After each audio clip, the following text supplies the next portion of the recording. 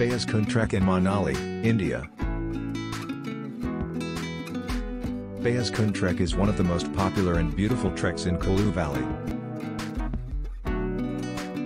This is a moderate level and fun 3 to 4 days trek, providing stunning views and camping opportunities on the way. Beas Kund Trek is to the origin of the river Beas. Beas Kund Trek starts from Solang. On the way, travelers can camp in Dhundi village. The difficulty level of this trek is moderate and takes 3 to 4 days covering 47 kilometers.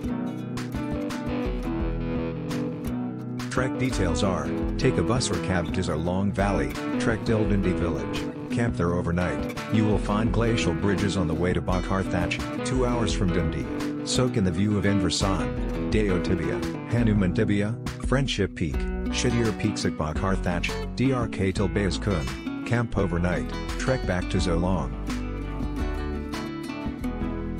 The best month to experience Beas Kund is from March to October. Subscribe and follow TripSpell for travel stories. Visit tripspell.com to plan your next trip.